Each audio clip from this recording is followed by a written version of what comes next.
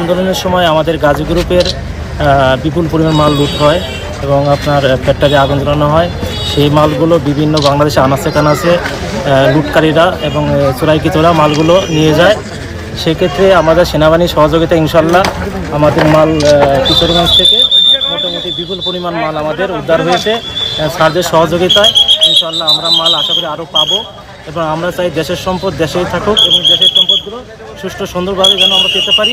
স্যারদের সহযোগিতা আন্তরিক আমরা কামনা করতেছি।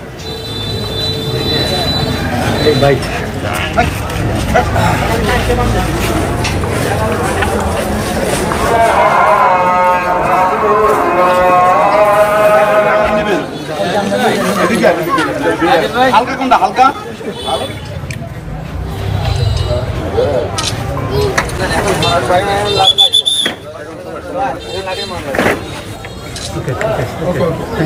Thank you